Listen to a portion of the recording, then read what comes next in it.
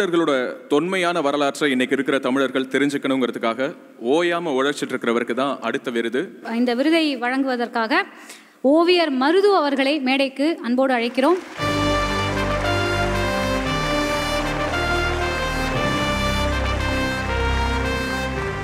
இப்பொழுது ஏவி பார்த்தலாம்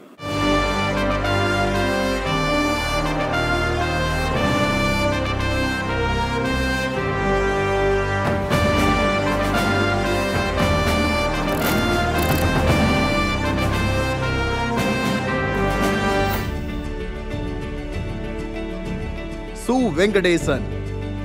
ஆக்சிஜனோடு வரலாற்றையும் சுவாசிக்கிற தொன்மங்களின் ஆராய்ச்சியாளர் மார்க்சிஸ்ட் கட்சியோடு இணைந்து செயலாற்றும் அரசியல் தோழர் இதனோடு தமிழகமே கொண்டாடும் சமகாலத்து எழுத்தாளர் இலக்கியம் ஒருக்கன் இடதுசாரி தத்துவங்கள் மறுக்கன் என வாழ்ந்து கொண்டிருக்கும் புத்தக நேசன். கீழடி ஆராய்ச்சியை கைவிட அரசு துணிந்தபோது அதற்கு எதிராக முழங்கிய முதல் குரல் சு. வெங்கடேசனுடையது. ஏற்கனவே காவல் கோட்டம் நாவலுக்காக சாகித்ய அகாடமி வென்று பரவலாக அறியப்பட்ட எழுத்தாளர். இன்று வேள்பாரி வழி தமிழ் வாசகர்கள் அவருக்கு கொடுத்திருப்பது நிரந்தரமான சிம்மாசனம்.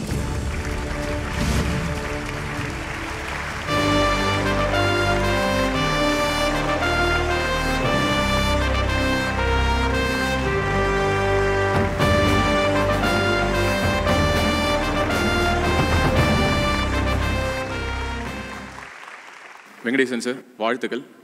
மிகப்பெரிய கேள்விலாம் இல்லை. ஒரே ஒரு வார்த்தை தான் சொல்ல போகிறேன் அதற்கு உங்களுடைய பதில். கீழடி. நம்முடைய வரலாற்று பெருமை நிகழ்காலத்தின் சகிக்க முடியாத துயரம். அடையாளங்களை மீட்டெடுத்ததற்கு நன்றி. தொடர்ந்து அதை பற்றி எழுதி கொண்டிருப்பதற்கும் நன்றி. விகடன் நம்பிக்கை விருதுகளில் அடுத்த விருதை வழங்குவதற்காக எழுத்தாளர் சிந்தனையாளர் ஆதவன் திக்ஷன்யா மற்றும் எழுத்தாளர் இமயம் அவர்களை மேடைக்கு அழைக்கிறோம்.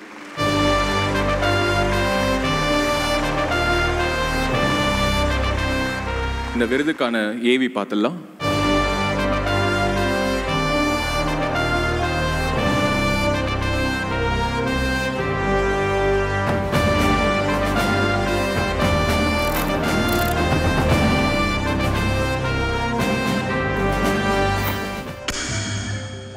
எதுக்கு சார் அடிக்கிறீங்க? அடிக்காதீங்க சார். எங்க அம்மா கக்கூஸ் கழுவுனா நாங்களும் கக்கூஸ் கழுவணுமா? மஞ்சள். செப்டிக் டேங்கில் இறங்கி விஷவாயு தாக்கி இறக்கும் தொழிலாளர்களின் எண்ணிக்கை ஆண்டுதோறும் ஆயிரக்கணக்கில் இருக்கிறது. நமது அறிவியல் வளர்ச்சி நம் டிஜிட்டல் இந்தியா மனித கழிவுகளை மனிதர்களே அள்ளும் கொடுமையை ஏன் அகற்றவில்லை? அது சாதியோடு தொடர்புடையது என்பதாலா? என்ற அமில கேள்வியை அழுத்தமாய் முன்வைத்தது மஞ்சள் நாடகம். மலமள்ளும் தொழிலிலிருந்து வெளியேற நினைத்தாலும் அவர்களால் ஏன் வெளியேற முடியவில்லை? பலருக்கு காதல் உணர்வுகளை கிளர்த்தும் மழை ஏன் மலமள்ளும் தொழிலாளர்களால் வெறுக்கப்படுகிறது? மஞ்சள் எப்படி மனம் நடுங்க வைக்கும் நிறமாக அவர்களுக்கு மாறியது? என்று பல கேள்விகளை காட்சிகள் வழியாக உணர்த்திய மஞ்சள் நாடகம் மிக முக்கியமான கலை மற்றும் அரசியல் நிகழ்வு. என் பதிமூணு வயசுல இந்த நாத்தம் பிடிச்ச வேலை செய்ய தொடங்கினேன். ஒவ்வொரு வீட்லயும் காஞ்ச கக்கூச சுத்தம் பண்ணிட்டு வெளியில வந்தா அந்தந்த வீட்டுக்காரிங்க சகிக்க முடியாத வெறுப்போட ரொட்டி துண்டைய மேல வீசி எறிகிறாங்க பாஷா சிங் எழுதிய தவிர்க்கப்பட்டவர்கள் என்ற நூலை தழுவி இந்த நாடக பிரதியை எழுதிய எழுத்தாளரும் பத்திரிகையாளருமான ஜெயராணி காத்திரமான கருத்தியலை முன்வைக்கும் நாடகங்களை நடத்தி வரும் கட்டியங்காரி நாடக குழு. இந்த நாடகத்தை நடத்திய நீலம் அமைப்பு மற்றும் ஜெய்பீம் அமைப்பு ஆகியோருக்கு விகடனின் சிறு அங்கீகாரம்.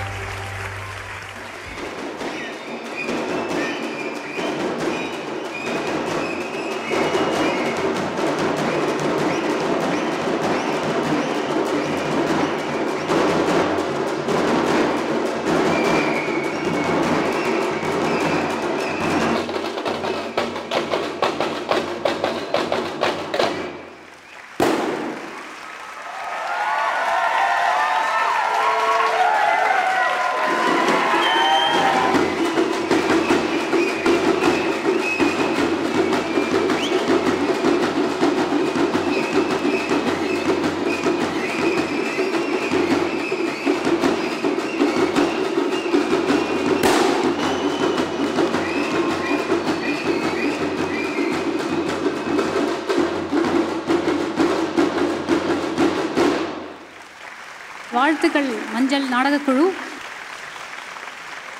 ஒரு பள்ளிக்கூடத்தில் கேரியர் கைடன்ஸ் ப்ரோக்ராமில் வந்து கேட்குறாங்க என்ன பண்ணணும் தேசபக்தி வளர்கிறதுக்கு அப்படின்னு கேட்டாங்க. அப்போ வந்து எல்லாருமே கட்டாயமாக ஆறு மாதம் இராணுவ சேவை செய்யணும்னு நிறைய பெற்றோர்கள் ஆசைப்பட்டு அந்த கூட்டத்தில் பேசினாங்க. இப்போ நான் சொன்னேன் கட்டாய இராணுவ சேவை செய்கிறத போலவே கட்டாயமாக ஆறு ஆறு மாதம் மலம் அல்றத கட்டாய சேவையாக பார்த்தணும் அப்படின்னு சொல்லி சொன்னேன். என்ன இவ்வளோ ஆக்வர்டாக பேசுகிறீங்கன்னு சொல்லி அந்த பேரண்ட்ஸ் மீட்டிங்கில் நிறைய பேர் கோச்சிக்கிட்டாங்க. அப்போ நான் சொன்னேன் தினம் வந்து இந்த ஜனங்க என்ன செஞ்சுக்கிட்டு இருக்காங்களோ அதை ஒரு நாளைக்கு செஞ்சுப்பார் அப்போ உன் வீரம் உன் அகங்காரம் இதெல்லாம் என்ன நடக்கும்னு பார்ப்போம். மங்களமாக தெரிந்து கொண்டிருந்த மஞ்சளை அது வெறும் பச்சை மலம்னு உங்கள் மூளையில் அப்பி இருக்குது இந்த நாடகம். ஒரு வருஷத்துக்கு இருபத்தி ரெண்டாயிரம் பேர் செப்டிக் டேங்கில் செத்துக்கிட்டு இருக்கான். அந்த சாவை பற்றி நமக்கு என்னைக்காவது பேச்சு இருக்கா? விவாதம் இருக்குதா? அதை பற்றி நம்ம என்னைக்காவது வந்து கவலைப்பட்டிருக்கிறோமா? அப்படிங்கிறது தான் மிக முக்கியமாக இந்த நாடகம் வந்து எழுப்பக்கூடிய கேள்வின்னு நான் நினைக்கிறேன். இந்த மாதிரியான ஒரு நாடக முயற்சியை அங்கீகரித்து ஏன்னா இப்போ வந்து ஏதாவது கருத்து சொன்னால் கழுத்தை வெட்டுவேன் நாக்கருப்புன்னு திரிகிற காலத்தில் நீங்கள் விருது கொடுக்க வந்திருக்கீங்க. அந்த ஒரு விஷயத்துக்காக தான் இதை சொல்லணுங்கிறதுக்காக தான் முக்கியமாக நான் கேட்டு நான் பேசுகிறேன் நன்றி. இதுக்கான அங்கீகாரத்தை ஒரு விருதின் மூலமாக வழங்குவதற்கு மைய நீரோட்ட களத்தில் நாங்கள் வந்து ஆல்டர்னேட் ஃபோரம்ஸில் அவார்டு வாங்குறது ஒரு பெரிய விஷயம் இல்லை. இந்த மாதிரி ஒரு மெயின் ஸ்ட்ரீம் ஸ்பேஸில் வந்து நாங்கள் ஒரு விருது வாங்குறதுங்கிறது ஒரு முக்கியமான விஷயமா நான் கருதுறேன். ரொம்ப நன்றி. நம்மளுடைய தமிழ்நாட்டிலேருந்து தமிழ் பேசக்கூடிய ஒரு கதாநாயகி பாலிவுட்லேயும் போய் கலக்கிட்டு இருக்காங்க. அவங்களோட பெர்ஃபார்மன்ஸ் தான் நம்ம இப்போ அடுத்து பார்க்க போகிறோம் calling on stage the beautiful Aishwarya Rajesh.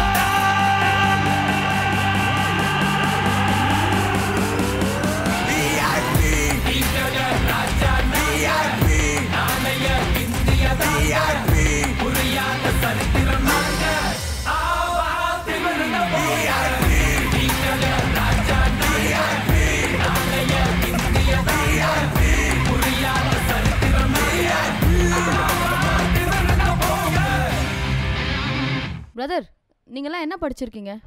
நான் பிடெக் படிச்சிருக்கேன்.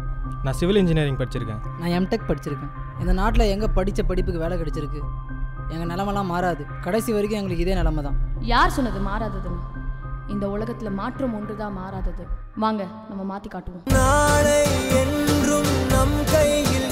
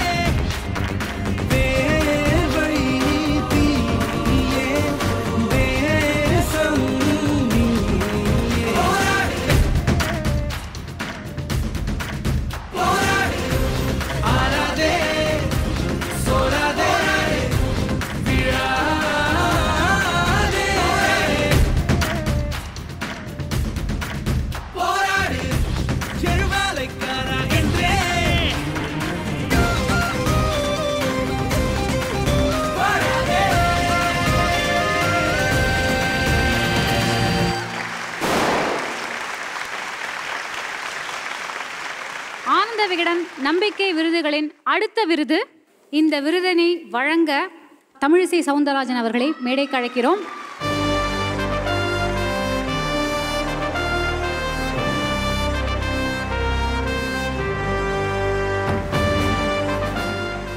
இந்த விருதுக்குரிய நபரை பற்றிய ஒரு சிறு காணொளி இதோ.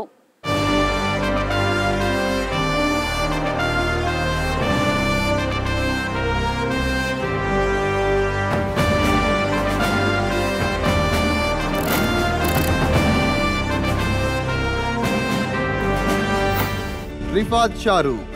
ஒரு சேட்டலைட் என்ன அளவிருக்கும்? ஒரு டபுள் பெட்ரூம் வீடு சைஸில் இருக்கலாம். ஆனால் ரிஃபாத் ஷாருக் தலைமையிலான டீம் செய்த சேட்டலைட் ஒரு குலாப் ஜாமுன் சைஸ் தான். மூன்று புள்ளி எட்டு கன சென்டிமீட்டரில் அறுபத்தி நான்கு கிராம் எடையுள்ள சேட்டலைட் சுட்டி விகடன் ஸ்டாரான ரிஃபாத் ஷாருக்கு சிறு வயதிலிருந்தே விண்வெளி விஷயங்களில் கொள்ளை ஈடுபாடு. அதை மெருகேற்றியது ஸ்ரீமதி கேசன் நடத்தும் ஸ்பேஸ் கிட்ஸ் என்ற அமைப்பு. சென்ற ஆண்டு நாசா நடத்திய கியூப்ஸ் இன் ஸ்பேஸ் போட்டிக்கு ஐம்பத்தி ஏழு நாடுகளிலிருந்து எண்பத்தி ஆறாயிரம் செயற்கைக்கோள் ஐடியாக்கள் வந்தன. அதில் எண்பது செயற்கைக்கோள்களை மட்டும் தேர்வு செய்து தனது ராக்கெட் மூலம் விண்ணுக்கு அனுப்பியது நாசா அதில் நம்ம பசங்க செய்த செயற்கைக்கோளும் ஒன்று. அப்துல் கலாம் தான் இந்த இளைஞர்களுக்கு இன்ஸ்பிரேஷன் அதனால்தான் கலாம் சாட் என்ற பெயரையே செயற்கைக்கோளுக்கு வைத்திருக்கிறார்கள். இந்த டீமிலிருந்து பல அப்துல் கலாம்கள் எதிர்காலத்தில் வருவார்கள். ஏனென்றால் இவர்கள் அடித்திருக்கும் முதல் சிக்ஸரே விண்வெளியில் போய் விழுந்திருக்கிறது. வருங்கால கலாம்களை வாழ்த்துகிறது விகடன்.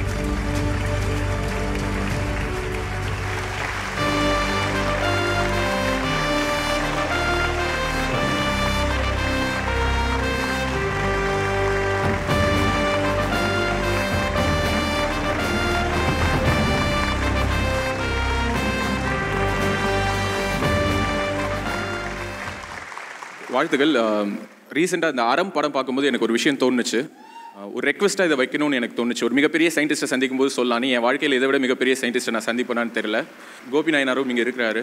ஸோ ஆழ்துளை கிணற்றில் விழுந்த ஒரு குழந்தையை மீட்பதற்கான ஒரு கருவியை கண்டுபிடிக்கிறதுக்கான ஒரு முன்னெடுப்பை உங்கள் டீம் செய்யணுங்கிறத இந்த நேரத்தில் நாங்கள் ஒரு ரெக்வஸ்ட்டாக வைக்கிறோம். கண்டிப்பாக ரொம்ப நன்றி. நன்றி நன்றி. தேங்க்யூ தமிழிசை மேம் ஒரே நிமிஷம். எல்லாரோடையும் சேர்ந்து ஒரு செல்ஃபி தமிழிசை மேமோட எடுத்துடலாம்.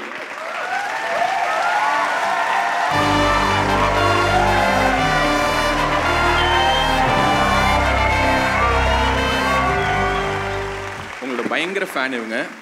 இந்த அவார்டை நான் தான் ஹோஸ்ட் பண்ணுவேன்னு சொல்லி அடம் பிடிச்சு தமிழிசை மேம் வரும்போது நான் தான் எதனால அப்படின்னா இப்போ ரீசெண்டாக கூட நான் ஒரு இன்டர்வியூ பார்த்தேன் மேம் மீம்ஸ் வந்து இந்த இந்த ஃபோட்டோவை அப்படியே நான் வந்து மீம் கிரியேட்டர்ஸ்க்கு தான் அனுப்ப போகிறேன் நிறைய மீம்ஸ் ட்ரோல்ஸ் உங்களை பற்றி வருது. பட் நீங்கள் அது ரொம்ப கேஷுவலாக ஒரு பெண்ணாக இருந்து இதெல்லாம் ஹேண்டில் பண்ணுறீங்க as a woman to woman hats off நன்றி. இதை எப்படி நீங்கள் வந்து எதிர்கொள்கிறீங்க ரொம்ப மகிழ்ச்சியாகவும் இலகுவாகவும் எதிர்கொள்கிறேன். ஆனால் அதை அவர்கள் ஆக்கப்பூர்வமாக அந்த அறிவாற்றலையும் அந்த கற்பனை திறமையும் அந்த எடிட்டிங் திறமையும். தமிழிசை நல்லது சொன்னதெல்லாம் கட் பண்ணிட்டு தவறானதை முன்னிறுத்தி வந்த அந்த எடிட்டிங் திறமையும் இன்னும் சரியான திசையில் போனால் இன்னும் நல்லா இருக்கும் அப்படின்றது எனது எண்ணம். இன்னொன்று கொள்கைகளை நீங்கள் குறை சொல்லலாம் பேச்சுக்களை கூட குறை சொல்லலாம் ஆனால் உருவத்தை குறை சொல்வது சரியான நடவடிக்கையாக இருக்காது என்பது எனது கருத்து. இப்போ கூட வரும்பொழுது விகடனில் ஒரு சின்ன இன்டர்வியூ கேட்டாங்க. நீங்கள் மீம்ஸை பற்றி என்ன நினைக்கிறீங்கன்னு கேட்டாங்க. அப்போ நான் சொன்னேன் தமிழ்நாட்டில் அரசியல்வாதி பணத்தை சுருட்டுனா கூட தப்பு இல்லை போல இருக்கு. சுருட்ட முடிய பிறந்தாதான் தப்பு போல இருக்கு. மேம் நீங்கள் ஒரு சில விஷயங்கள் வந்து மேடைகளில் பேசும்போது உங்களை உங்களையே மீறி உணர்வு பூர்வமாக பேசுகிறீங்க அது வந்து சில நேரங்களில் ட்ராலாக பார்க்கும்போது உதாரணத்துக்கு சொல்லணும்னா உங்களுடைய ட்ரேட்மார்க் டயலாக் வந்து எல்லாருக்குமே தெரியும். தாமரை மலர்ந்தே தீர்வு. இல்லை அதில் இல்லை அது வந்து நீங்கள் அந்த ஸ்டேஜில் பேசும்போது ரொம்ப உணர்வுபூர்வமாக உங்களுடைய அடி ஆழத்துலேருந்து பேசியிருக்கீங்க. ஆனால் அது நீங்கள் வெளியில் வந்து பார்க்கும்போது அந்த மாதிரி ட்ரால் பண்ணப்படும் போது உங்களுக்கு என்ன மேம் தோணும்? தமிழை உணர்வு பூர்வமாக பேசும் பொழுது செந்தமிழும் நாப்பழக்கம். ஆக உயிர் மூச்சாக தமிழை பேசும் பொழுது உண்மையான தமிழாக பேசும் பொழுது உணர்வு பூர்வமான தமிழாக பேசும் பொழுது தமிழச்சியாக தமிழை பேசும் பொழுது அது உணர்ச்சி மிகுந்த தமிழாக வருகிறது என்பது எனது கருத்தாக இருந்து கொண்டிருக்கிறது. தமிழ்நாட்டை தமிழர்கள் தான் ஆள வேண்டும் என்ற இந்த ஸ்டேட்மெண்ட் பற்றி நீங்கள் என்ன நினைக்கிறீங்க அதாவது இது யாரை மனதில் வைத்து கேட்டுக்கொண்டிருக்கிறீர்கள் என்று உங்கள் மனசில் யார் இருந்தாலும் சொல்லுங்கள் இல்லை இல்லை. அது இப்பொழுது ஒரு விமர்சனமாக மாற்றப்பட்டு கொண்டிருப்பதனால் நான் இதை சொல்கிறேன்.